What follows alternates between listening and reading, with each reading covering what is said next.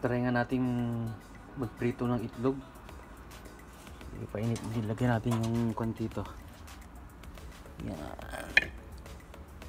Hintayin natin. Hintayin natin dyan. Tapos susunod ng tika. O tayo ng tika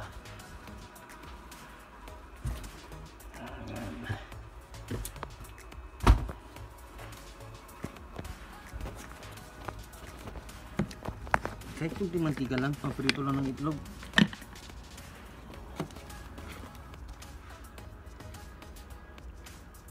Yan kunti lang. Paprito lang ng itlog huwag lang yung mantika.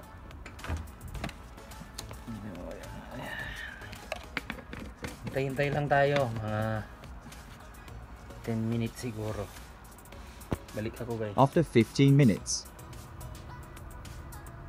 So, yun guys, may 15 minutes na na doon. Kuha tayo ng itlog. Try na nga natin kung totoo. Kasi 47 degrees ngayon. Sobrang init. So, kuha tayo ng itlog. Itatry natin kung maluluto yung itlog. Kuha tayo.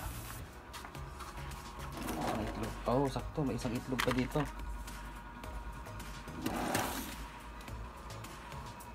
Try nga natin basagin ko yung itlog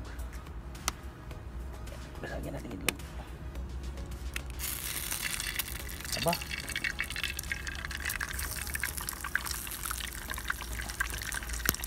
oo nga.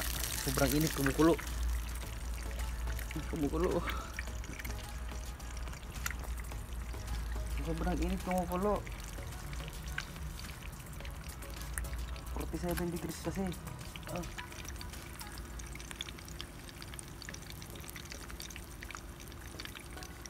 aba. Totoo nga. Totoo pala yung sinasabi nila. Pero ngayon ko lang tira na ito na nagprito dito sa labas.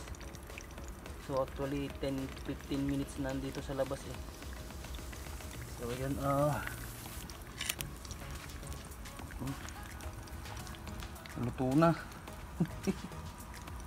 Luto na sobrang init kasi.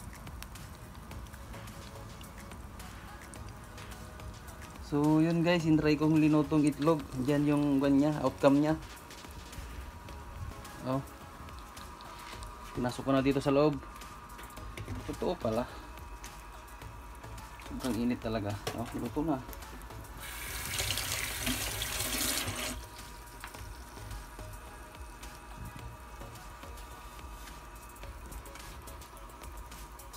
Luto na guys. So yun guys, oh. Itirinay ko nga, ngayon ko lang kasi 47 degrees ngayon.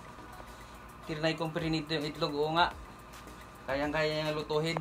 Sobrang init sa labas. Oh.